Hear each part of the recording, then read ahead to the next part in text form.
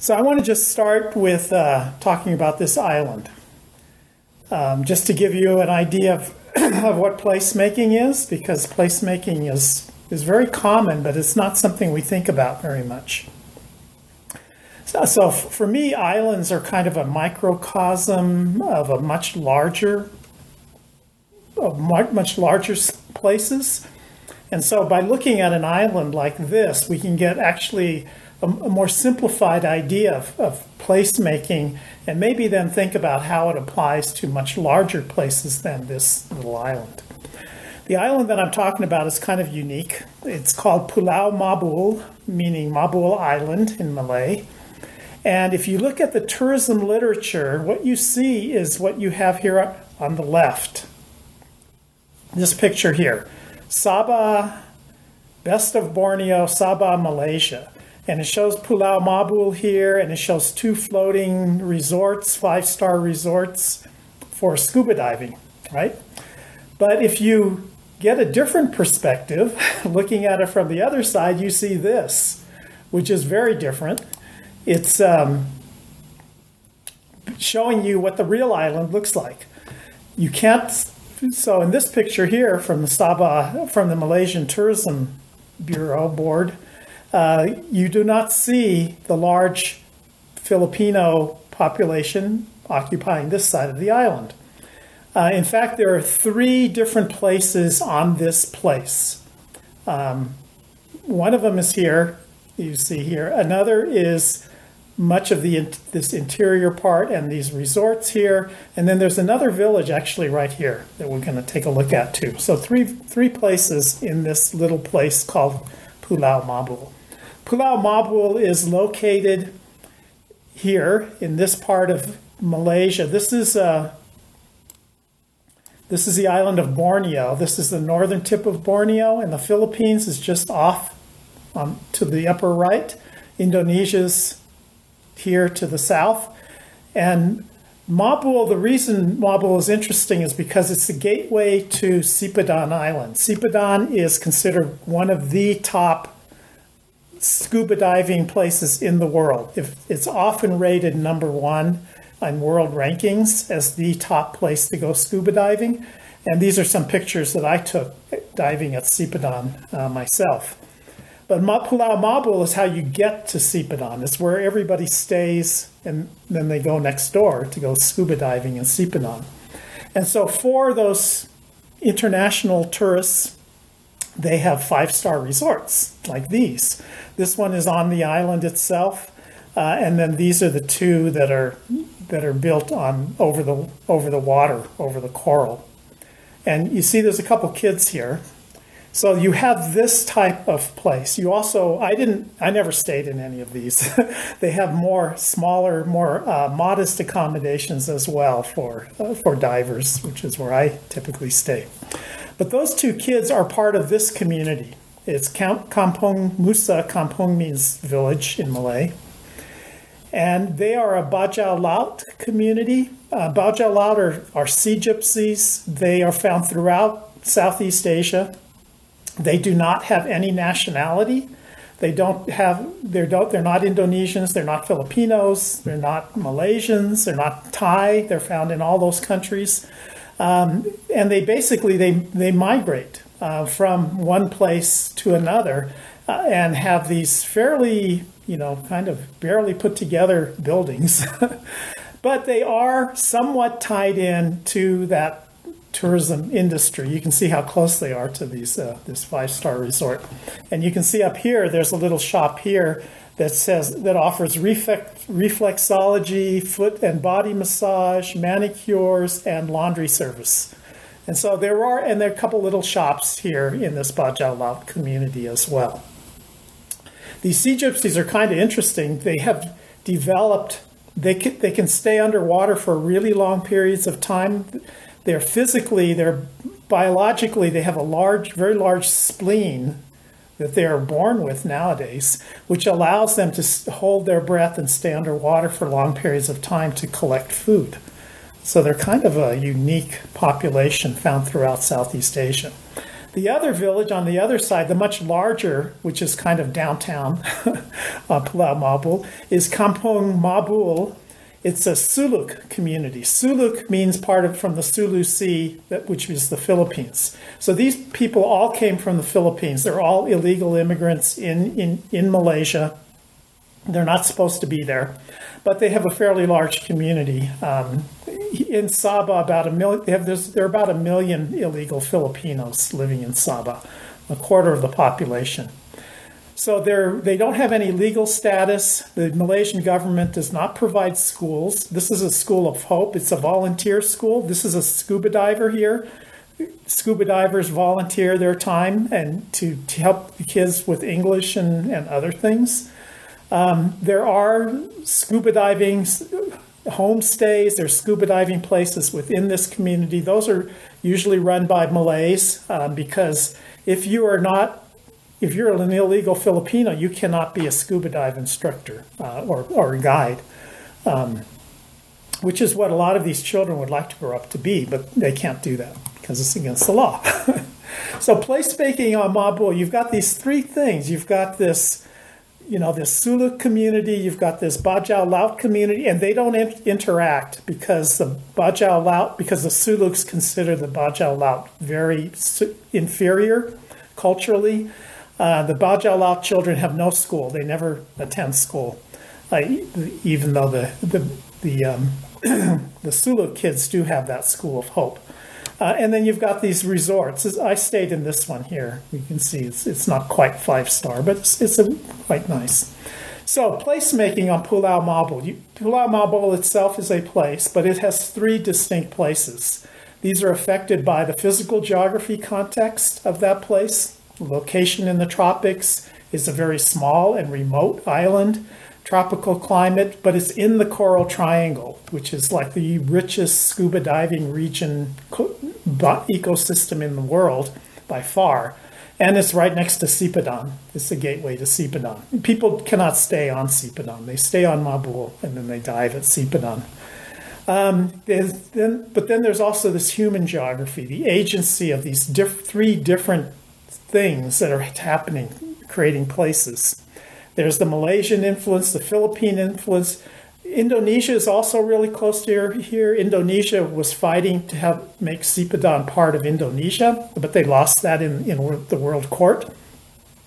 So you have history, culture, politics, migration, and mobility of all three of these populations uh, that come together in this particular island. And you have that global dive, the global economy, that dive tourism these three coexisting places in this very small place. Um, Doreen Massey, the geographer, referred to things like this as thrown together, togetherness, a word she coined, where the apparently unrelated is related and connected.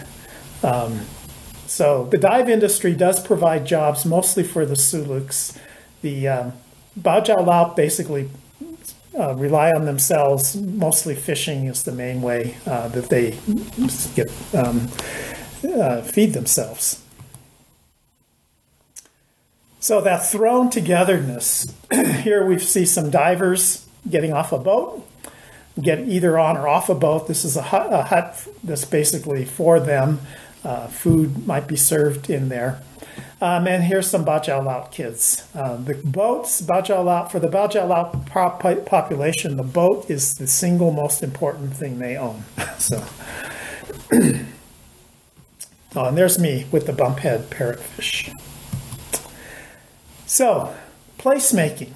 Everyone does placemaking. Everyone on that island was contributing to making the, the, those three distinct, unique places that were thrown together to create this place called Pulau Mabul. Placemaking, I'm going to have several definitions of what placemaking is. Here's one. uh, placemaking is creating places through the daily placemaking actions of inhabitants. This is a picture, I actually got this off a Japanese government website that was trying to show how everybody in this picture, everything in this picture is contributing to creating this place. Uh, it's the humans, the different activities that different humans are involved in farming, fishing, and um, recreation activities, also economic activities, but it's also the non humans, the plants and animals and trees and biology that, can, that is part of this place. Uh, and there's, I guess, there's a festival going on here, transportation, all of these things come together to create a place. And in many ways, this is what traditional geography is all about, is places, understanding how places come into existence. So that's one definition of placemaking. Um, defining placemaking through space and place. So I'm going to go into a little bit of geographic um, theory here. Space is basically everything that surrounds us on the surface of the earth. There is outer space, but we're talking about surface space on the earth, is connected in some way. This is Walter Tobler's first law of geography. Everything is connected to everything else, except some things that are closer to each other are more connected than things that are further away. This is a really key element of understanding geography and understanding how things are related to each other. Yi-Fu Tuan, um, the humanistic geographer, he says that space is constantly being created through the activities that we're involved in. Those activities basically means movement and perception. we move through space and we create space. We move objects through space. That's how we create space. But we also perceive space. We perceive things as being away from us. We're here, that thing is there. That, could, that thing could be another person, it could be a city, it could be another country. Um, and that creates space through our perceptions. So space is actual and, ima- and also imagined. We can Im- we imagine space. It also comes through our senses, the creation of this space that surrounds us. A couple of characteristics of space it is always changing because our activities are always changing. What we are doing as individuals, as, as societies, as countries, that we're always, those activities are always changing. Think of what the world is doing now, all the activities that take place between different countries and different parts of countries, and how different that is from what it was just a few years ago. Things are always changing for various reasons. In addition, space is always uniquely experienced. The space that I experience is different from the space that each single person in the room or at home watching this is experiencing. Everybody has their own experience of space. We have shared space, yes, but even then, our experiences are unique. So, place is the other characteristic, and uh, this is the cover of Yi-Fu Tuan's famous book, Space and Place, The Perspective of Experience. Um, Tuan defines places as assigning significance to certain parts of space. So there's a certain part of a space and we give it a name. And we say this is important for one reason or another, or we don't like it for one reason or another. That's how we create places according to Yi-Fu Tuan. People demonstrate their sense of place when they apply their moral, that is what's right and wrong, and aesthetic, that is what's pretty and what's not, what's beautiful and what's not, and ugly, discernment to sites and locations. That's how places are created. Out of, out of that ubiquitous space that's everywhere. So space and place are things that are co-created through our human actions. And by doing that, we create identities. We create identities for ourselves, our history, our experience with space and places, and we create identities for individual places. That's part of that significance, is that identity creation. So here's another definition. This is my definition of placemaking. Producing, designing, crafting, creating, bringing into being the material and experiential elements of a place landscape. Material is physical, you can see it, you can touch it, but it's also an experience. So how do we how do we do that? You know, bring that into existence. Well, in fact, humans do this naturally, but we don't have to really try. We do it, but we can also do it intentionally. So Tuan identif- uh, defined two types of places in his writings. One he called public symbols. Others refer to this as pu- the public sphere. Um, other other philosophers. This, these are significant, where the significance, the importance of a place, the name and its importance are assigned by a large group. Some kind of a group says this is important. This is, these are usually very easily understood. When we see them, we know that's probably an important place. Um, monumental buildings, large structures, public gardens, and plazas are examples of these public symbols, public spheres. The opposite of that is what Yifu Tuan called fields of care. Other people refer to it as the private sphere. And this is where the significance of the place is assigned by an individual or a small group of some kind.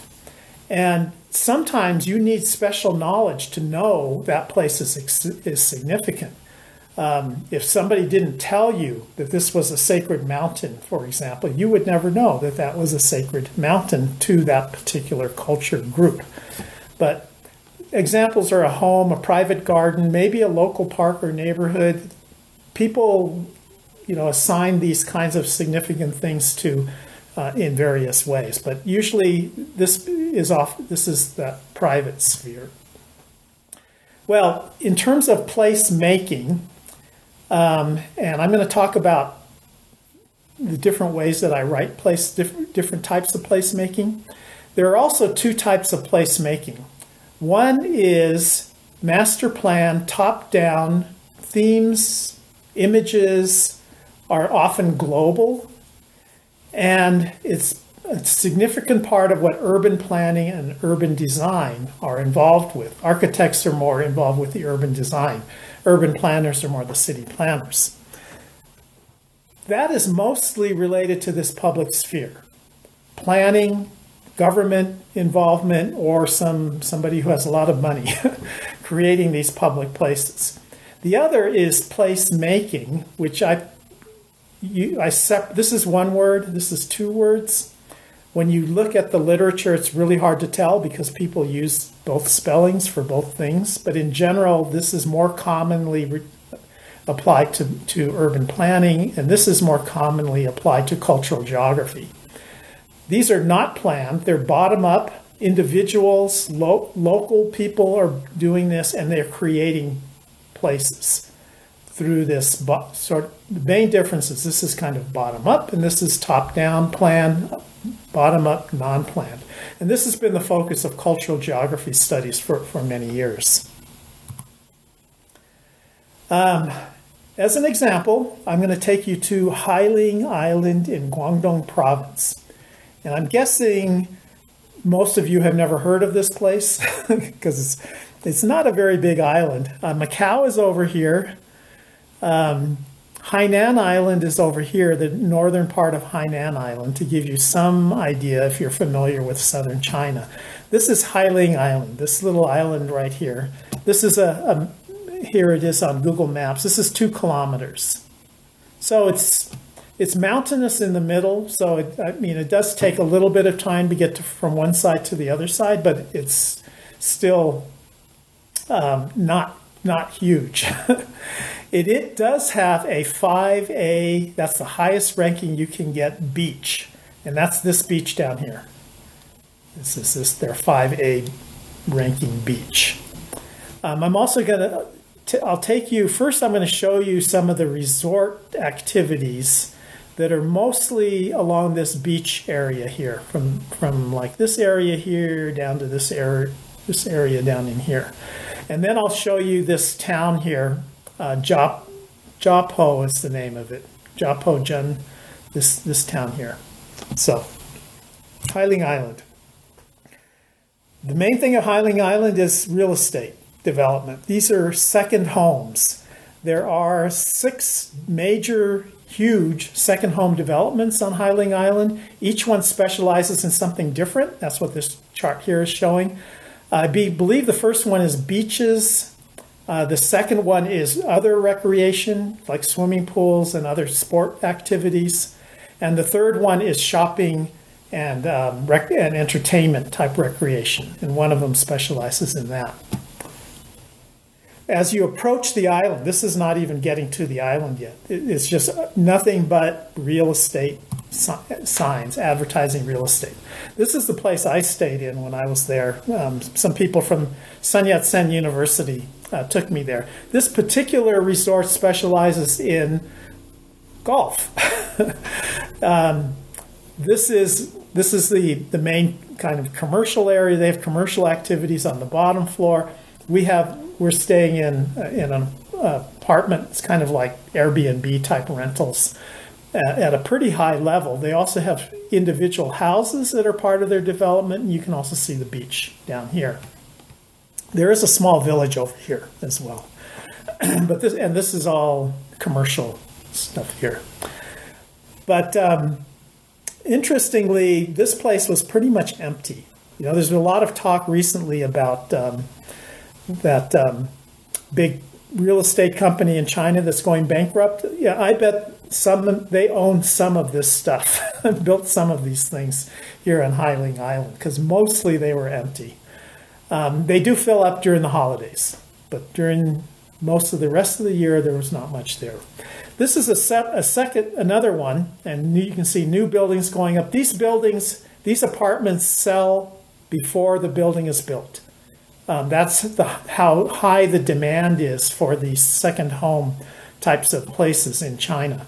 This one's kind of far away from the beach. The beach is way over here, but they've got they've got um, this shopping center that they're building, the shopping mall, and they've got this recreation areas. One of this is like a karaoke building. Another one is like a, um, games, different types of electronic games. Each building is devoted to a different type of recreation activity. Another one is a movie house um, that's surrounding this this lake that's part of uh, that's adjacent to the shopping center. So that's their big selling point.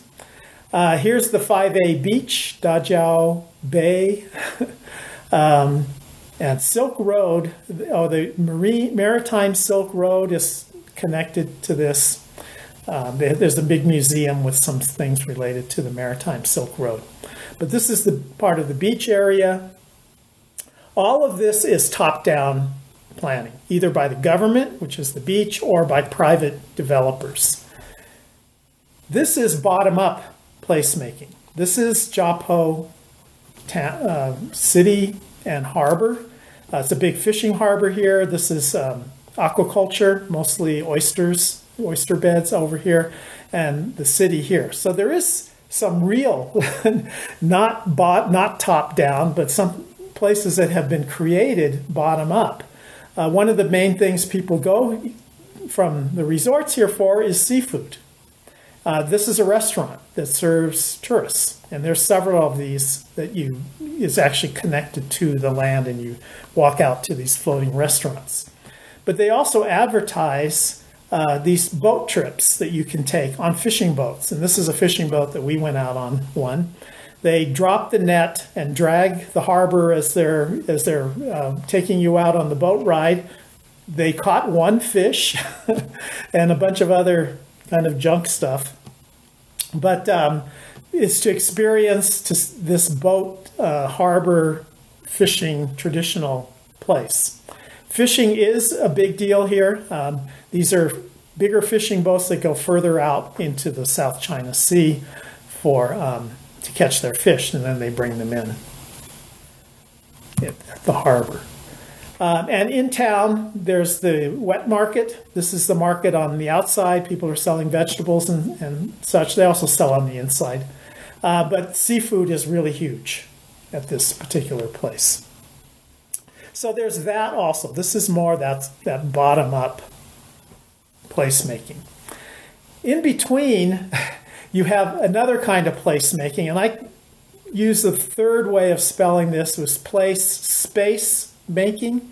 So instead of a dash, instead of one word, I use this the fuller word place making. And this is where you have a mix of things for tourists and um, for locals. This is a tourist market, but you can see a, a lot of the food things. You know, some of this is more more toys and things for tourists, but a lot of the food stuff is, of course, used by locals as well. And okay, and and then they have at least one of these. This is the one that I was taken to of a gentrified tourist village. This is an old Chinese village, but it's been fixed up really nice. Um, these are all accommodations. These are all houses uh, that people can can stay in, and they're very well done. They're air conditioned and, and really nice furniture inside.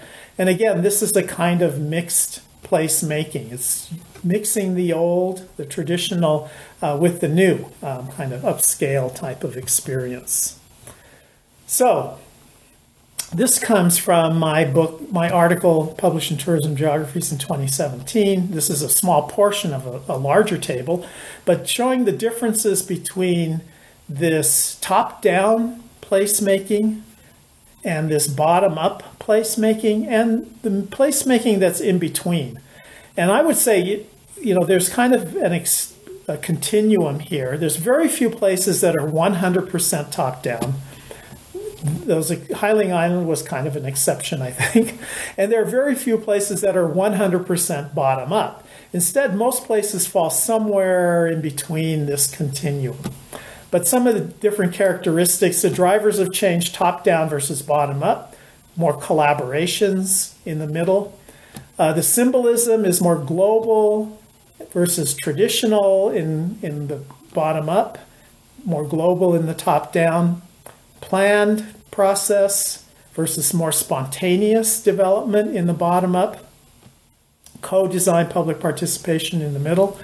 Security is very predictable, very safe in top-down places, more uncertainty and risk, and but also more surprise in bottom-up places. In tourism sociology, this is sometimes referred to as the front region, and this might be referred to as the back region. Authenticity, uh, the top down is, is definitely much more inauthentic and fantasy, Disneyfication, whereas the bottom up is more authentic and real, and placemaking is something in between, uh, this PM uh, middle part. Transformation is very fast versus very slow change over here on bo bottom up, and the top down is very fast change. Um, tourism area life cycle, there's differences. Capacities tend to be different. The experience, more recreational in top down, more experimental, existential in bottom up. And you're more involved with the market branding in top down, and you're more involved with the site, the actual site itself in bottom up. So I think you can see the, the differences. Top down placemaking, this is a diagram I created. Somebody at the top is making the decisions and basically imposing them on people at the bottom. Bottom up is just the opposite. People on the bottom are making the decisions, and that's what gets created. Um, ideally, there should be more of a collaboration um, in terms of placemaking. Uh, people, uh, communication going both ways, bottom up and top down. And that does happen in many places as well. China's kind of an exception in terms of the degree of top down that you find there. Okay, so we talked about placemaking and defining placemaking, different types of placemaking, those three different types. Now, I argue that tourism is always top down. Tourism placemaking is always a top down process. Even when you're turning a bottom up place into a tourist attraction. The planning process from the tourism people who are involved in tourism is always top down. And um, I think that can be a safe argument. So I'm going to now focus specifically on this top down placemaking. This type of placemaking originated with urban design. That's how it originally came into being, it was something, a subject area called urban design. It was a subject area that I was very interested in when I was working on my master's in urban planning. Urban design was what I wanted to do. and I'm still doing it in some ways.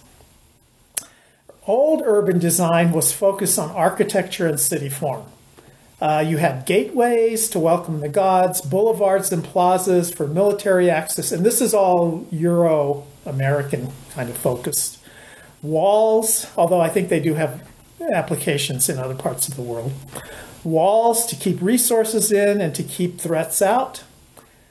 Um, street grids for military access in Europe, but in the US, you had street grids, everything in a grid shaped pattern to sell land. That was the reason you had those grids in cities throughout the US.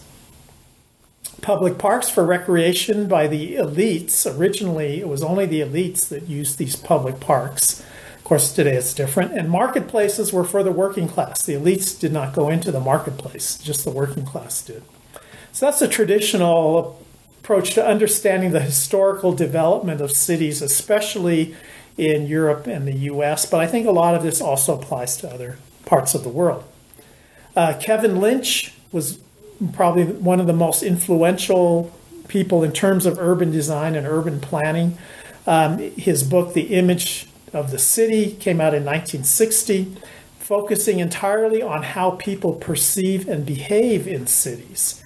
And he identified that can you can basically take the city apart in terms of the paths that are, that exist, edges between districts, nodes where people and things come together, and landmarks. Those are the main parts of the image of the city. But again, that was urban design. There we go. Urban design today is placemaking. Uh, that's basically what, play, what urban design is. I think it started becoming placemaking even when I was back at, as a graduate student. Um, although, because my master's thesis was basically focused on urban design, but relating it to tourism. And so um, basically, that's what I was doing. uh, place, this is another definition of placemaking. Placemaking is creating quality places where people want to live, work, play, shop, learn, and visit. This comes from the pps.org, which I'll introduce here in a second. Um, that's their definition of placemaking. Uh, it is used by architects, landscape architects, urban planners, and government. And it is focused on sidewalks, public squares and parks, streets and boulevards, large streets, semi-public places, which may be some building lobbies and shopping malls, and other recreation areas. This is an example from Suzhou, China, of a street uh, that has been placemade, placemade into a, a, tourist attraction, but also a shopping area for local people. Uh, it's, it's completely upscale. What's kind of nice about this is they only did it on this one side. On the other side, there's the, still the old residential area. And while it's mostly walled, you can't really see into it much. Every now and then there's a little gap, and you, you kind of get a sense of maybe what this street looked like when it was re a real street. Uh, but now it's um, a place-made street. It's made into some place that that is attractive. I should shouldn't say that that's bad. It's it helps to make this area someplace where people want to live, work, play, shop, learn, and visit. Um, urban design. This is a, this is a way I'm kind of introducing this whole concept of urban design. Pub, this is public space looking at the sidewalk. The sidewalk is one of the places that, that, that we look at in terms of urban design and placemaking. And did you know there are four parts to a sidewalk?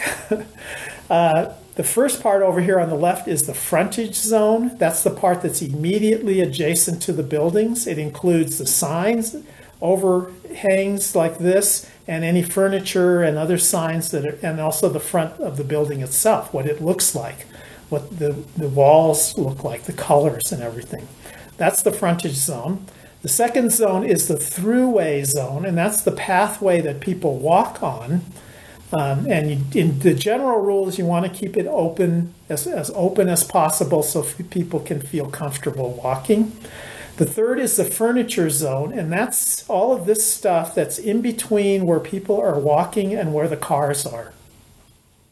The, a lot of this is very functional furniture. Um, there's also, you can also have um, benches for people to sit on, but it's mainly one of the major purposes is to for people who are walking here to feel protected from the cars because cars can feel very threatening um, depending on how close and how fast they are to this throughway.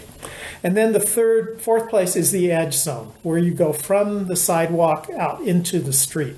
And especially in intersections, that's a big issue on just how you design that so that people can feel safe. So that's Um, so this part on placemaking, a lot of the images I'm going to show come from this book, Placemaking as an Economic Development Tool, which is from the State of Michigan Governor's Office. It's like the, the biggest, most, the best resources I, resource I've ever come across on, on placemaking. Uh, also, I draw on the, the Project for Public Spaces, pps.org website, and that's where that, that the other definition came from. And so that's a website with all, a lot of information about placemaking. So I just wanted to give, uh, no, notify, you know, let you know about these references that I'm using. So the next part I want to talk about is different types of placemaking. Uh, this again comes. This is based on this book. There's actually there's standard placemaking, which includes everything that's being done here. Creative placemaking, tactical placemaking, and strategic placemaking. There's a fifth type of placemaking also that I will introduce that was not in this book, which was, I thought, very interesting why it was not there. So we have these four types of placemaking. And remember, these creative, strategic, and tactical placemaking, they're all part of this standard placemaking. Standard placemaking is all forms of community improvement, from the most simple to the most elaborate. Anything that a government does to improve the look, the feel, the safety, um, the efficiency of the streets, public spaces is considered placemaking. Sometimes it, it, this, it just looks like this, and it's not really tur- involved, specifically focused on tourists. It's more uh, focused, this is more focused on pedestrians, making the street feel safer for pedestrians. But it can be focused on tourists. This is public uh, space, place, standard placemaking in Key West, Florida, which in the downtown Key West, Florida is a huge tourist destination. Um, it, it's the southernmost town in the Florida Keys, southernmost island. So it's like the southernmost place in the for, in the continental part of the U.S. But you can see, you know, the sidewalks nice and wide. There's a quite a lot of of uh, things in this furniture space, including trees and and various things to help the pedestrians feel safe. Uh, but there's also a lot of attractive things seen of, of, of in the shops, and the colors is mostly white and blue.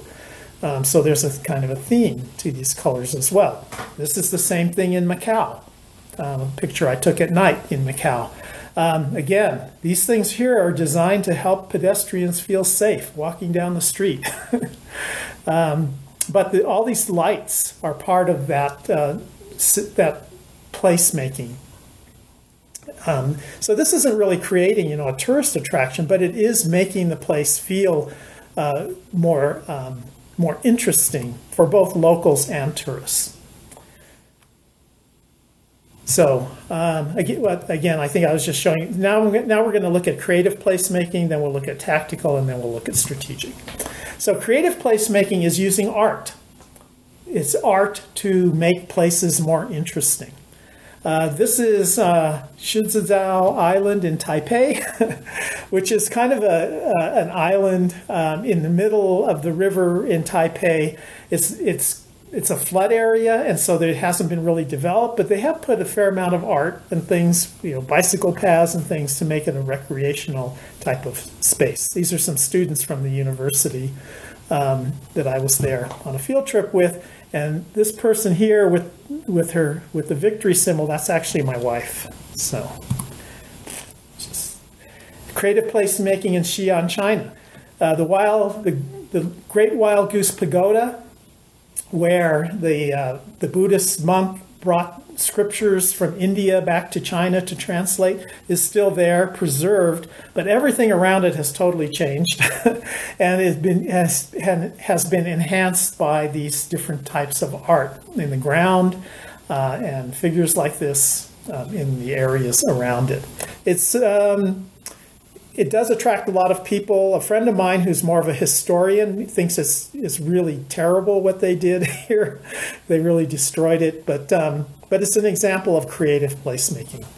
Standard in creative placemaking in Sweden, uh, this, is, this is along the river in Sweden. This is more standard placemaking, making it feel more comfortable for, for locals and tourists alike. And this is more the creative aspect. This used to be a fishing harbor. And so the people selling fish and doing things related to fish are shown in these statues. So number so that's number two was creative placemaking, using art to create a, a place, sense of place. Tactical placemaking is often placemaking that's done somewhat illegally, but it's it's doing things in places that were not designed for what is being done. This is in Hong Kong, and I thought this was a great picture of tactical placemaking. Hong Kong, as you know, is one of the most densely crowded places in the world. And this is on a Sunday. And you only see this on a Sunday. On Sundays, Filipino maids have the day off. And so they want to gather with their friends, and this is how they do it. they're underneath a covered walkway here, so they're protected from rain they have some umbrellas. This day it's not rainy, it's sunny, so they're protected from the rain and the sun. And they put cardboard up like this to kind of mark off their little space for them and their friends. That's tactical placemaking.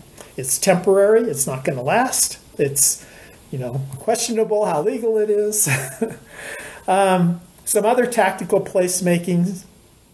The two up here in Riga, Latvia, and Guadalajara, Mexico, are the creation of bicycle paths by local residents. This bicycle path here was not there the day before. Suddenly, the next day, it was there because the residents went in and painted it overnight. Illegally? Yes, probably. And here, again, residents are creating a bicycle path on a road. Um, this is not necessarily illegal. It started, this trend started in San Francisco, and sometimes it was illegal. They basically would take over parking spaces on the side of the street and create, turn them into parks. Often they were just temporary um, parks. They're called parklets. Nowadays, many cities have this, even where I live in Flagstaff. A business owner can pay the city for the money they would lose by losing the parking spaces, and they can create a space like this for the public in front of their business. Farmers markets like this, this is the farmers market in Flagstaff before the pandemic, but even during the pandemic, it was very popular. It happens every Sunday and it's in a parking lot. So the parking lot is not used on Sundays. And so on Sundays, they turn it into a farmer's market. And this is found you know, throughout the U.S. nowadays, um, these these weekly uh, farmers markets like this in spaces that are not uh, not needed um, on that particular day. Cool. So that's tactical placemaking. It's sort of a bottom-up type of of, of placemaking where people actually the locals are wanting to create something that they don't have. Um, is often the way it's seen in spaces that are not actually being used efficient, efficiently. Um, so the last one is strategic placemaking.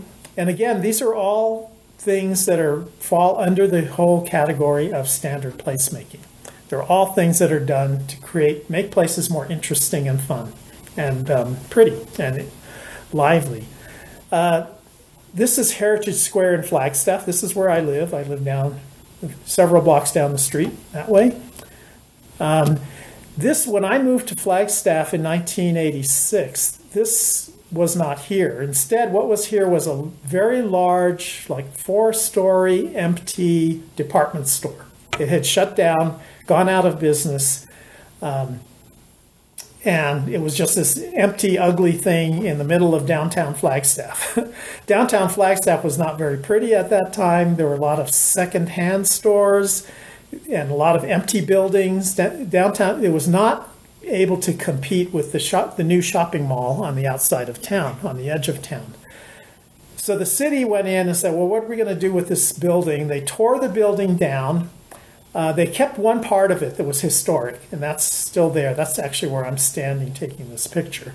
But they built this plaza instead called Heritage Square, which is now the center of downtown activity. There's during the summer, there's always activities going on here. There's um, concerts that take place. There's dances that take place. There's markets that take place in this Heritage Square. So they created this place to be the center of activity to change downtown. And downtown Flagstaff today is a huge tourist attraction. I mean, there's there's so many restaurants and bars. it's hard to hard to imagine this was once a dead place. And on this particular day, they've actually closed this street off and they brought brought snow in. And so they turned it into a snow playground for this particular festival that's going on. So that's strategic placemaking, is creating things like this. This is in tai, Taichung in Taiwan, the city of Taichung. Here they've taken an old railroad area uh, of the city, which is, was no longer in use, and they've turned it into a public art space. So it's strategic and creative. It's a very popular place. There's also lots of food that you can get in this place, and there's a lot of art displays that are that are often changing, and, and a couple of large art galleries. You can see some of the buildings here are also decorated with art um, in this particular part. So another example of com combining strategic and creative placemaking uh, in this case. So we've looked at creative placemaking, tactical placemaking, strategic, and they're all kind of within this standard placemaking. When you overlap these, strategic and creative, it, it affects the physical form. Tactical and strategic can, can affect land use activities and functions, and creative and tactical can create social things. And so, for example, strategic and creative, the physical form are the buildings here in this particular picture here on the cover of this book. The um, land use functions, those are the shops, the different types of shops. What types of shopping, what types of services are you offering to people? Now, what type of things where they, they can do? The social opportunities are found here. These are people, this is a restaurant, it looks like, of some kind. They're, they're drinking at least. But they, where you have spaces where people can get together. They might, they might be part of the restaurant or they might actually just be a, a public space. And so you can see that how this physical form, land use functions, and social opportunities all come together here um, in, this, uh, in this picture. And that is urban design. And that's how we create quality places uh, through through urban design. Urban planning, landscape architecture, and architects are all involved in this. Tourism, there's one huge thing related to tourism that is not covered in that book. That book was designed for urban planners. It, it, I took a workshop at the American Planning Association on placemaking, and that's where I was given a copy of that book and and uh, learned all of the, a lot of this stuff.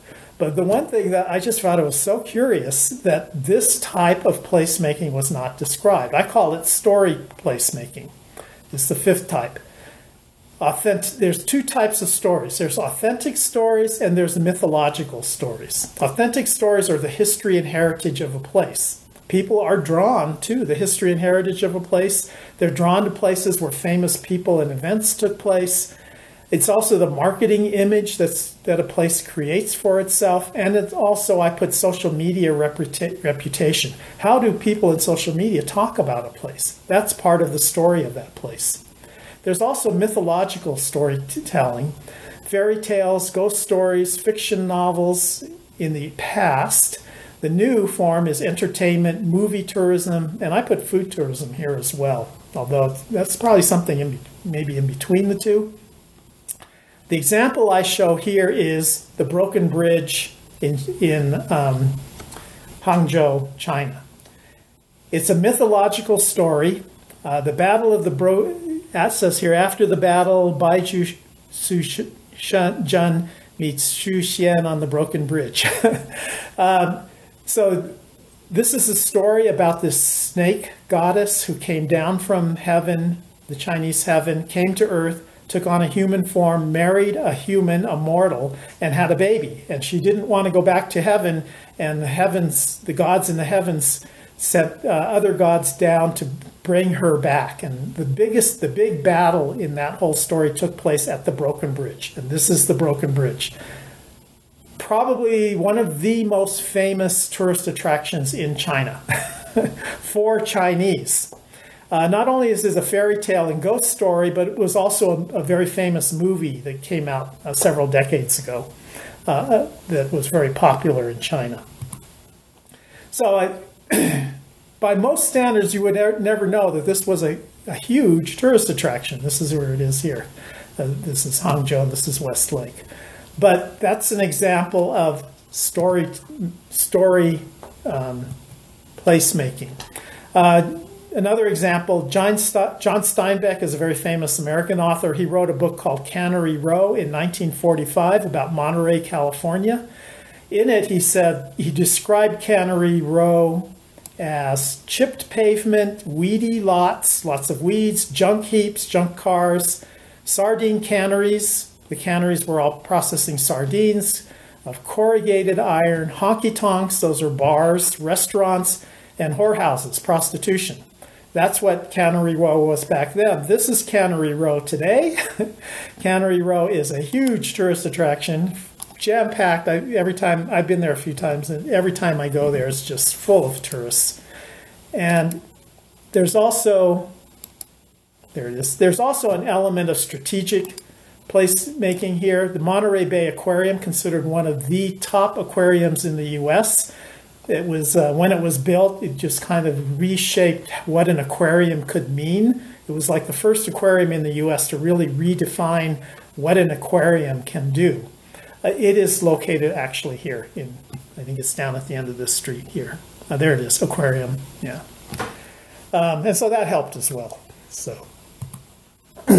So you have some storytelling placemaking and some strategic placemaking. Tourism placemaking is marketing in many ways. Uh, this is a company called Creative Concern, a UK based marketing company, and they do placemaking in tourism. And basically, they do marketing campaigns, powerful campaigns, engaging narratives, and compelling propositions, among other things that they do. And the Singapore Tourism Board says one of the things we do is placemaking. They do marketing, industry development, and placemaking.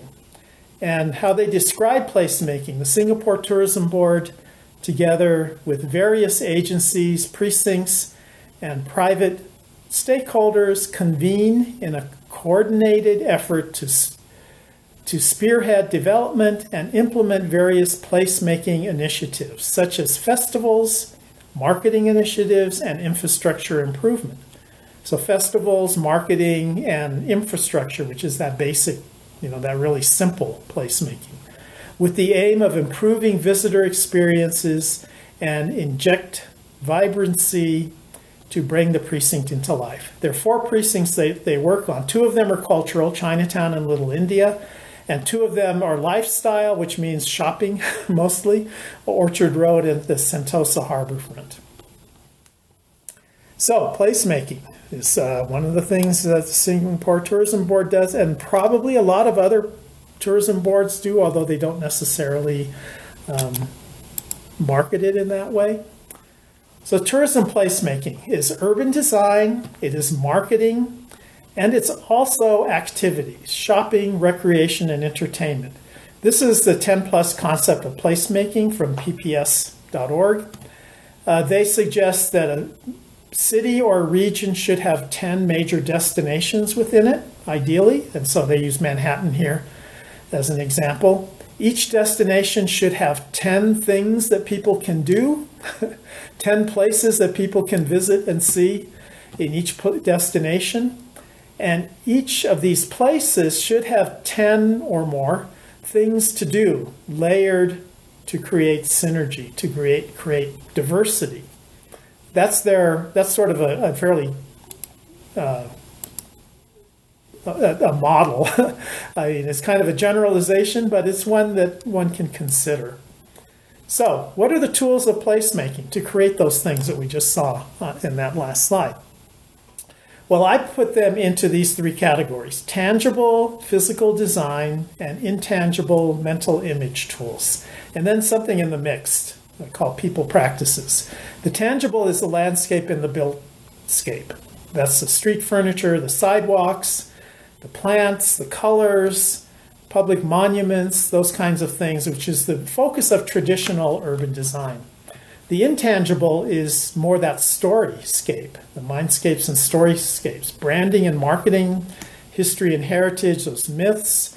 This is more what tourism people, scholars, and people into tourism are really much better at uh, focusing on, that the business side of, of things. And then there's this mixed people practices, ethnoscapes and peoplescapes, festivals and special events, street life, local dress, um, the sounds and smells, entertainment. A lot of this is is um, bottom up. It's what the local people are doing with this place that they have um, that they live in.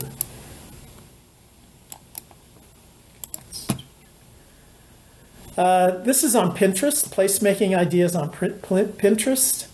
Uh, and you can see most of this is, is more urban design oriented, but I, I tried to increase the size of the categories that are at the top of this page. Uh, giant outdoor games, urban parks, Jane Jacobs, places, bus stops, real estate development, urban intervention, Dallas and Baltimore, for some reason, are big in this page. Public spaces, oh, Montreal is another city, streets, and interactive installations. Um, I suppose this game here and this slide are more on the interactive side.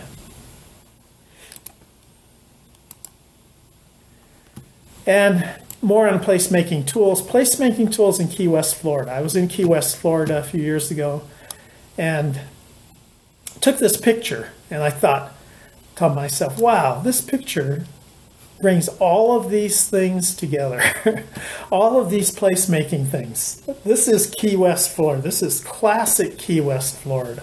The colors, pastel colors, the theming of water and palm trees, famous people, well, you may never heard of have heard of Jimmy Buffett, but this is Jimmy Buffett's Margaritaville Cafe. Jimmy Buffett sang a song called Margaritaville about losing his girlfriend and going to the Caribbean and getting drunk. so, and it's a very famous song. And so there's the Margaritaville Cafe and Jimmy Buffett. The way people are dressed, um, the signs, the street life, the parrot, the building facades. You can see some in the background here also.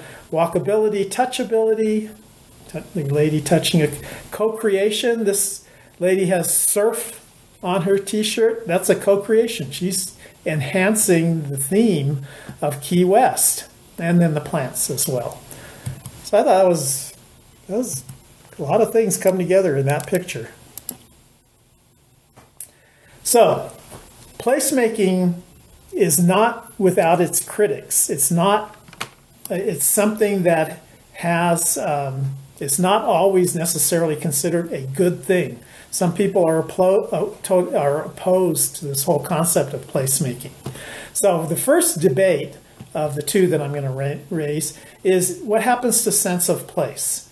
Sense of place is something that is often associated with uh, bottom up you know traditional culture you know you really feel that there's some really strong roots in this place um, there's the, the book place and placelessness that came out back in the 70s that really brought home this whole idea of what is a place that has a strong sense of place and what is a place that is placeless.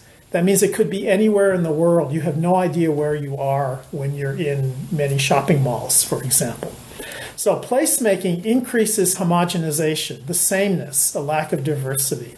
It increases placelessness, the globalization, the lack of localness. It increases Disneyfication. Disneyfication is predictability. There's few things that are more predictable than Disneyland. The lack of surprise. It increases McDonaldization, which is another predictability. But it's the idea of control, um, the lack of spontaneity. So there's no increase. So you're losing diversity, localness, surprise, and spontaneity. Um, Ritzer, Ritzer and Liska in 1997 called this McDisneyfication, all of this stuff up here. Hyper efficient, predictable, and controlled. And in many ways, that is what tourists seem to want. you see this in theme parks, you see this in cruise ships, shopping centers, theme restaurants, historic shopping street, streets. These are all hyper efficient, predictable, and controlled. So it seems like tourists want this. And so I guess why not create it? This is on Hailing Island. One of the resorts there advertises life in Hawaii and frozen. That's the two themes that they use to sell this resort. Um, this is in the tropics, the subtropical, the most tropical area of China. so Hawaii maybe might fit, but frozen? well, anyway, whatever will sell, right? They know their market. The second major debate topic is ownership, power and ownership. Who owns this new space that's been created? Who has the power to create this? Development, change, and control. Who defines what is success? Uh, is success meaning you've driven out all the poor people and all the only rich people live there? Um, maybe. Conservation, preservation, and heritage. Whose story are you going to tell? Whose history?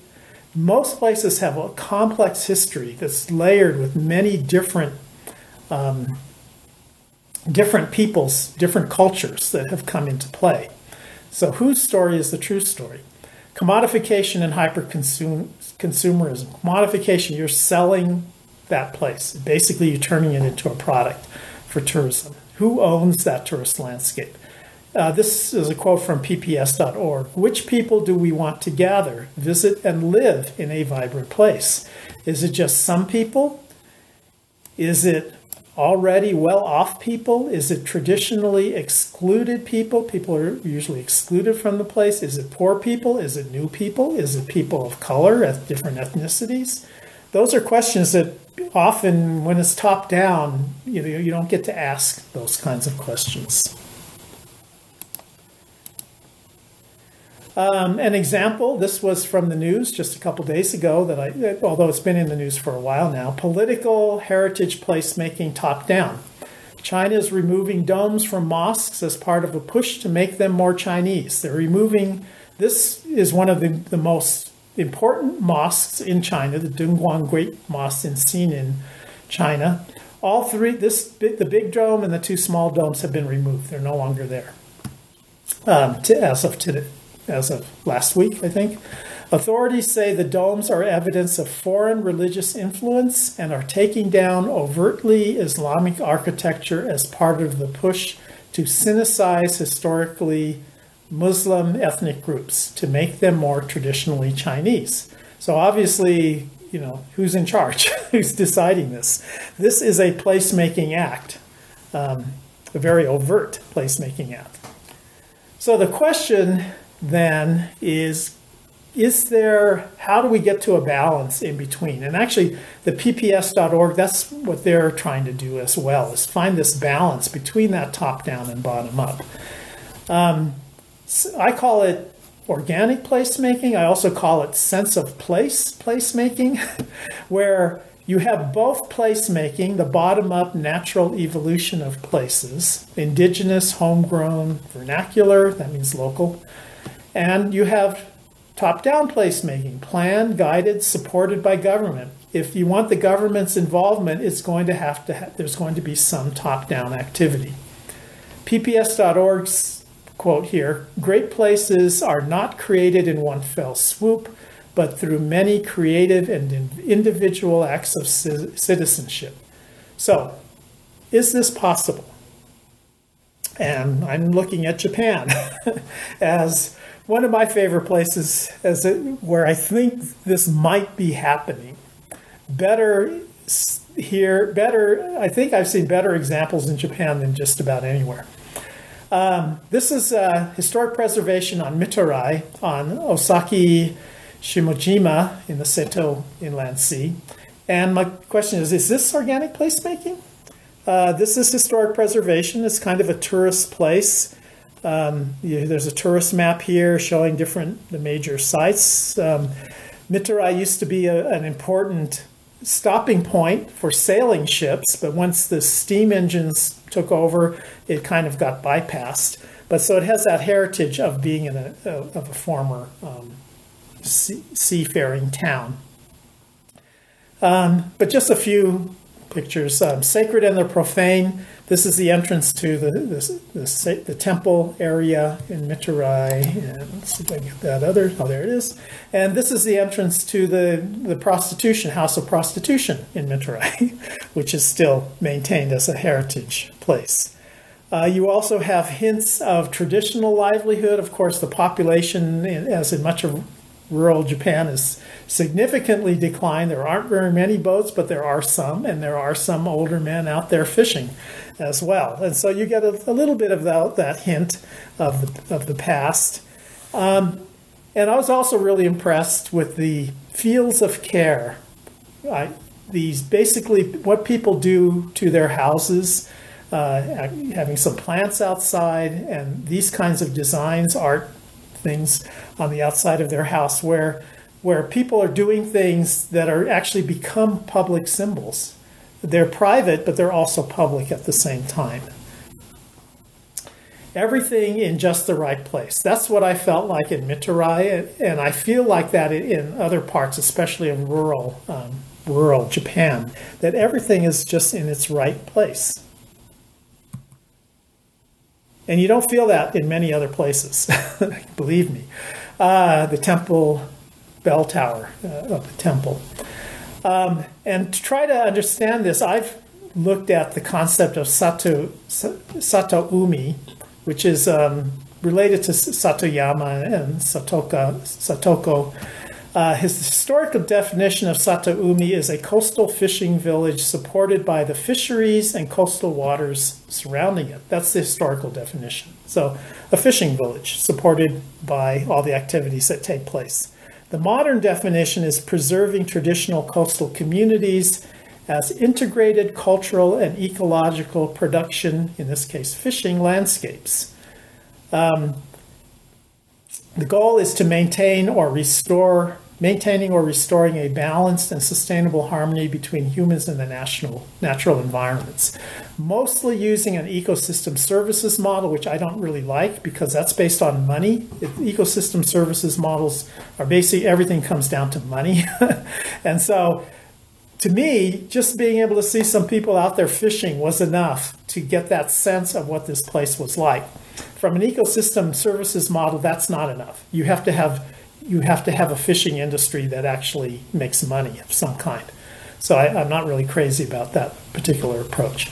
But, um, but overall, other aspects of Satoumi and Satoyama I think are very attractive. For example, these are management concepts uh, from Sato, Satoyama and Satoumi. The integration of nature and humans, harmony among e- the different ecosystem services, cooperation, uh, land and cultural management.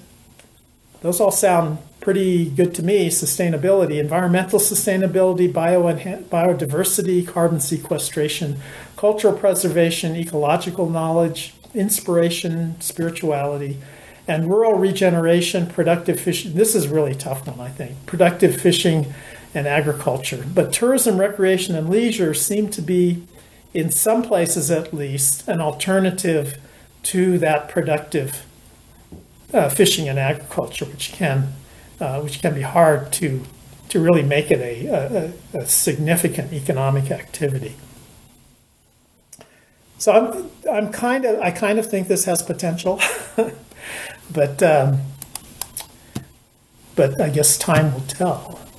Um, so in summary, this is my last slide. This is how I think of placemaking.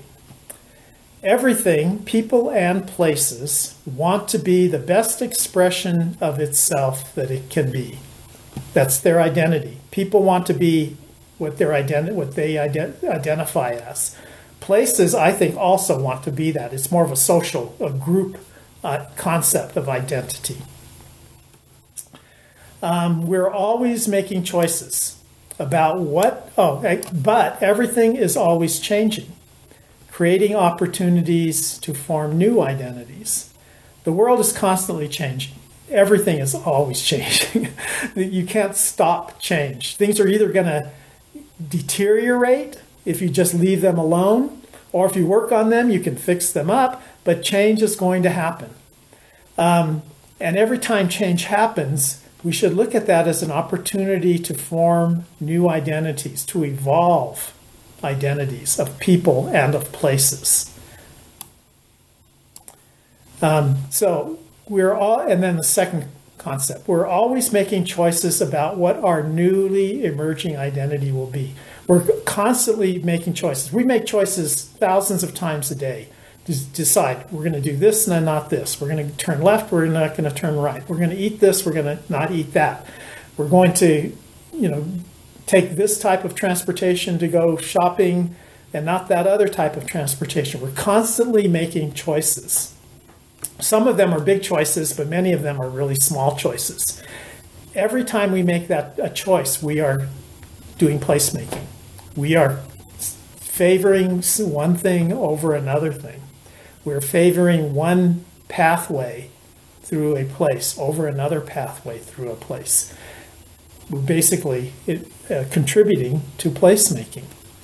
The thing is, we're seldom aware that we are doing that. we we've, this is a concept, you know, that urban design people, planner, urban planners, architects, urban art, landscape architects, they all know this. They all, this is really a huge part of those professions.